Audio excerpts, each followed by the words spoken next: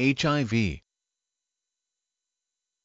HIV, acronym for the Human Immunodeficiency Virus, the cause of AIDS-acquired immunodeficiency syndrome. HIV has also been called the human lymphotropic virus type III, the lymphadenopathy-associated virus and the lymphadenopathy virus. No matter what name is applied, it is a retrovirus. A retrovirus has an RNA genome and a reverse transcriptase enzyme. Using the reverse transcriptase, the virus uses its RNA as a template for making complementary DNA which can integrate into the DNA of the host organism. Although the American research Robert Gallo at the National Institutes of Health NIH believed he was the first to find HIV, it is now generally accepted that the French physician Luc Montagnier 1932 and his team at the Pasteur Institute discovered HIV in 1983-84.